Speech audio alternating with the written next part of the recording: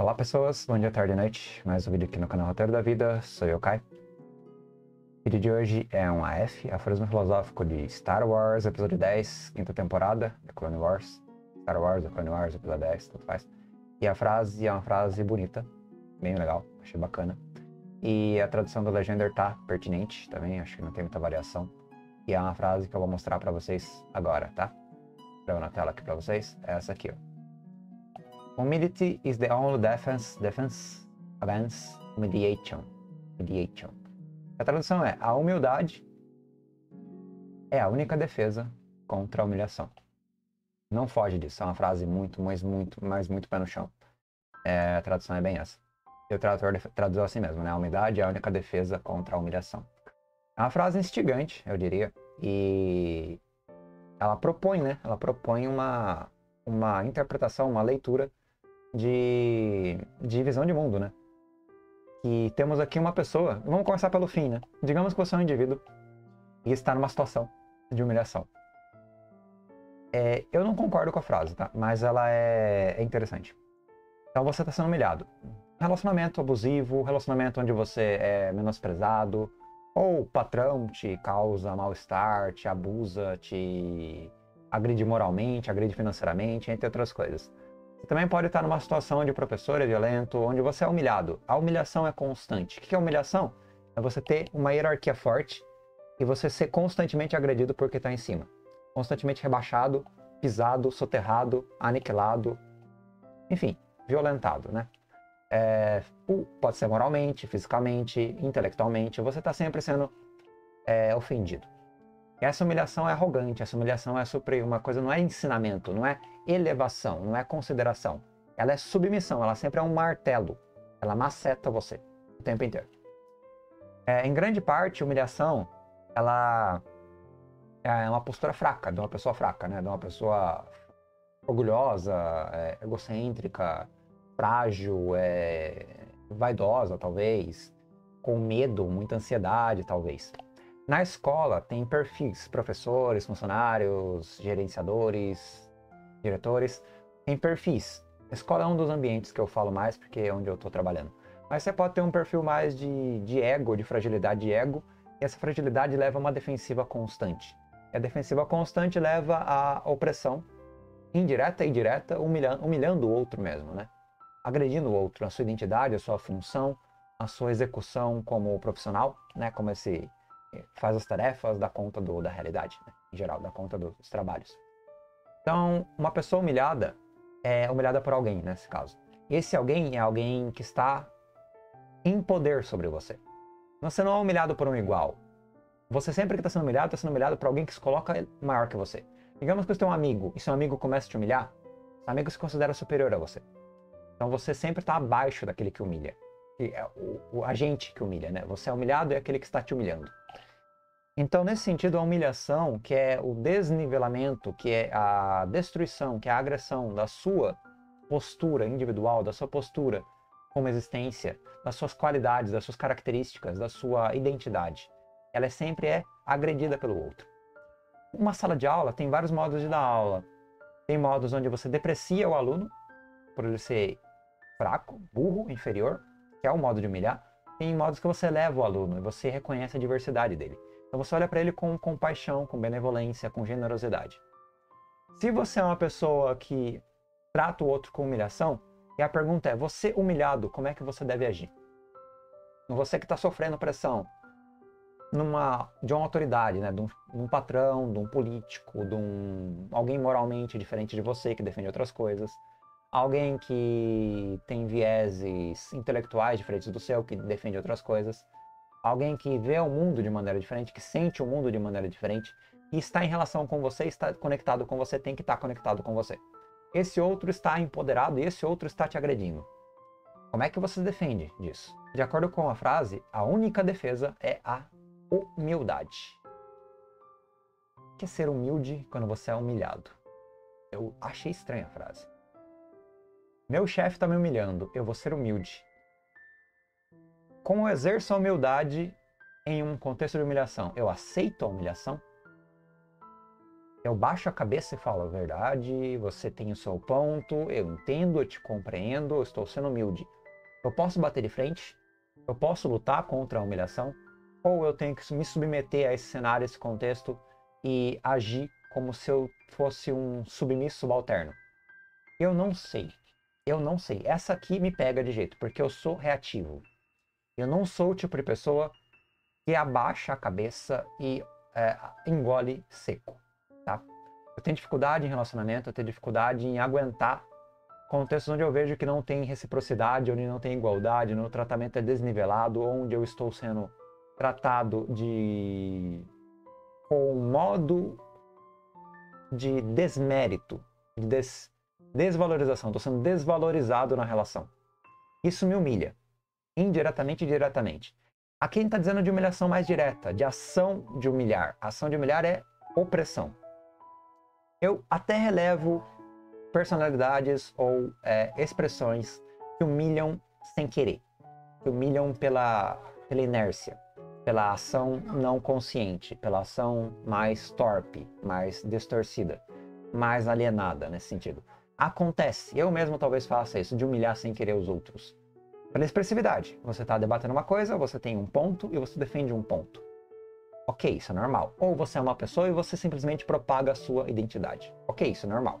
Agora, quando você está num contexto de hierarquia e sofrimento de agressão, onde você sofre agressão, ser humilde é interessante em certo sentido porque você se coloca numa posição de não conflito, uma posição não reativa, uma posição de pacificador. Mas é muito estranho. Porque a humilhação, ela pode, além de ser humilhante, ela pode ser opressora, ela pode ser é, manipuladora, ela pode ser, por vezes, e ela é assim, violenta, ela pode escravizar você, ela pode aprisionar você.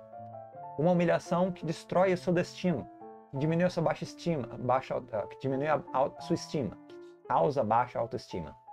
Se diminui é, ao ponto de você perder a sua estrutura moral psicológica de equilíbrio. Você fica abalado. Mas humildade garante a sua resiliência, garante a estrutura de manter a sua identidade, seu status de, de respeito. Eu não sei. Essa frase me deixa no, em cima do muro. Eu não sei. Ela é uma frase interessante para pensar, mas a conclusão dela é estranha para mim. Eu não sei mesmo. Não sei mesmo. A, a humildade é a única defesa contra a humilhação. Eu estou me defendendo uma situação opressiva, sendo humilde. O que, que é a humildade aqui? Será que é neutralidade? Será que é não reação no sentido de humilhar o outro? Será que é não violência, que é uma espécie de ação ativa, mas neutra, ativa, mas plena, de costas eretas? Humildade olhando no olho, sem ser abalado, sem se diminuir, sem se engrandecer, sem achar que é melhor que o outro, neutralizando a energia, talvez, como se você estivesse absorvendo e localizando energia com um fluxo do outro lado, um fluxo novo. Você purifica a energia ao não refleti-la com a mesma intensidade violenta, que seria humilhante nesse certo sentido, certo sentido, tá? Então, nesse sentido mais yin-yang, por assim dizer, talvez ela tenha alguma lógica, mas é uma metáfora de abstração um pouco forçada para mim. Eu não diria que a frase dá essa interpretação imediatamente. Mas defesa. Defesa. Defesa é você estar na luta. É você não abaixar a bola. É você não se render. Então a palavra defesa é central. Defesa é você estar pleno. É estar fisicamente, mentalmente, moralmente estável, não abalado, não desistente. Você está lutando, está se defendendo.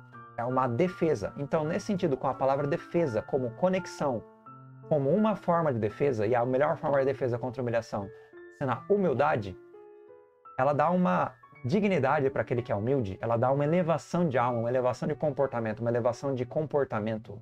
Falei duas vezes uma elevação de, de dignidade, falei de novo, uma elevação de, de status. Entendeu? A pessoa se mantém plena, a pessoa se mantém digna, a pessoa se mantém humana, jamais se abala e defende-se. Defende sem arredar o pé. Isso fica interessante. Então ela exige, essa frase exige um esforço enorme, hercúleo, para você não simplificar ela. Eu estou tentando aprofundar ela aqui para você não subestimar ela, para você pensar fora da caixa e olhar a palavra defesa e usar a palavra defesa como luta. Usar a palavra defesa como estar ativo, jamais passivo. Então não é humildade de fuga, é humildade de manutenção de posição. É não arredar o pé. É não arredar o pé. Isso ser humilde contra humilhação. É manter a sua integridade. Se seu patrão te humilha, você mantém a sua integridade. Se seu professor te humilha, você se mantém calmo e íntegro. Humilde e íntegro. Se sua namorada ou parceira ou, enfim, relação afetiva te humilha, você se mantém íntegro. Estável, de costas eretas, olhando para frente, olhando nos olhos, sem jamais usar do mesmo veneno contra aquele que agride você. Você não ataca, você é humilde. Isso é um escudo para uma humilhação, não é uma agressão física, é uma humilhação, é uma agressão psicológica, uma agressão emotiva. O escudo é você se manter estável, inabalável, estoico. E aí eu concordo com a frase. É uma puta de uma defesa. Porque você desarma o oponente. Se mantém lá, ouvindo, inabalado. E se mantém, e quando você vai falar, você fala com calma, controlado, sem rancor, pleno, racional, sem bambolear em emoções. Humildemente você coloca as cartas na mesa e explora a realidade. Isso é ser humilde, isso é ser pleno, isso é ser capaz, isso é desarmar o, o cara que humilha, a pessoa que humilha. Você fala com sinceridade, com harmonia, com coragem e, acima de tudo, com é, consideração e respeito tanto para o oponente quanto para si mesmo. Consideração. Uma igualdade. Jamais agredindo ele de volta. Isso é interessante. É uma defesa. Concordo. Mas é um malabarismo para chegar nesse ponto de interpretação. E eu demorei 12 minutos para fazer isso. Porque eu não entendi a frase. Quando eu falei que eu não entendi a frase no começo, eu estava lendo ela, eu estava falando a verdade. Eu não consegui sincronizar com essa frase. E agora, nesse ângulo, que é uma interpretação que eu acabei de desenvolver, a frase faz sentido.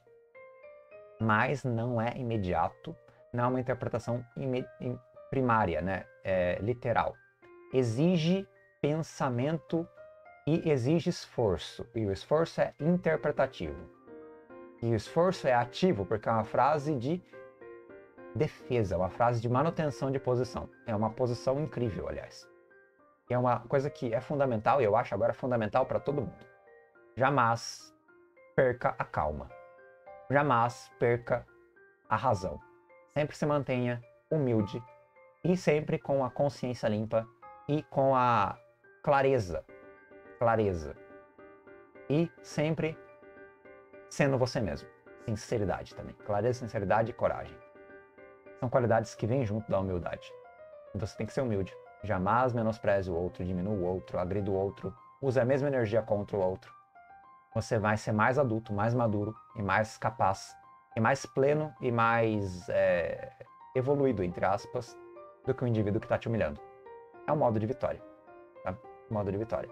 E você é inabalável. Não adianta se o cara te humilhar, te humilhar, te humilhar. Você simplesmente está tranquilo. E é defesa. Não recuo.